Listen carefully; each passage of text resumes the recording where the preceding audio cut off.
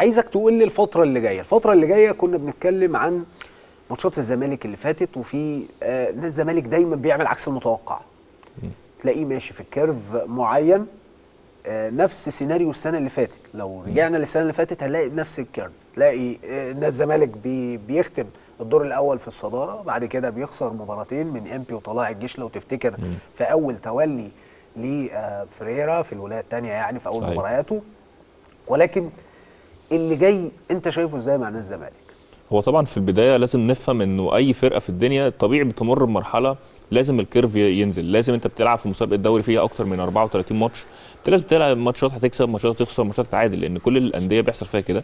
إمبارح ريال مدريد آه، بيتغلب من آه، فياريال. فبنشوف إنه النتائج متذبذبة في كل الفرق. مش مش شرط تكسب كل الماتشات مش شرط إن أنا وإلا بقى يبقى خلاص يبقى ملهاش لازمة ال- ال- الماتشات. إنما الفرقه كلها لازم تمر بال- بالمرحلة دي.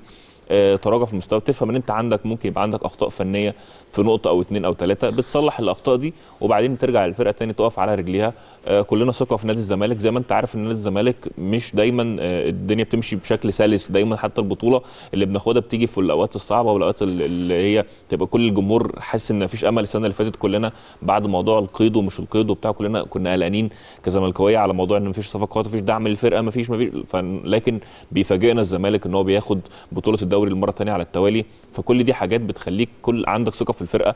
آه، دايما أنت ورا الفرقة دايما الجمهور هو رقم واحد ودايما هو كلمة السر أبو حميد في آه، دعم الزمالك. بنشوف حتى بعد الإخفاقات اللي بتحصل اللعيبه بتروح عند الجمهور والجمهور بيحييهم بالاسم واحد واحد بي- بيمشوا وراهم لحد من أسوان لإسكندرية الماتش الجاي. اتوبيسات طالعة ومجلس الإدارة الصراحة في النقطة دي مش مقصر وبنوجه له كل الشكر وكل التحية إنه واقف ورا الفرقة واقف ورا دعم الجماهير في, في النقطة دي. فالجمهور طول ما هو طول ما أنت كلاعب حتى في الملعب حاسس إن الجمهور وراك أنت بتبقى عندك واخد دفعة واخد سبورت إن أنت آه، تأدي أحسن ما عندك وتأدي أفضل أداء عندك.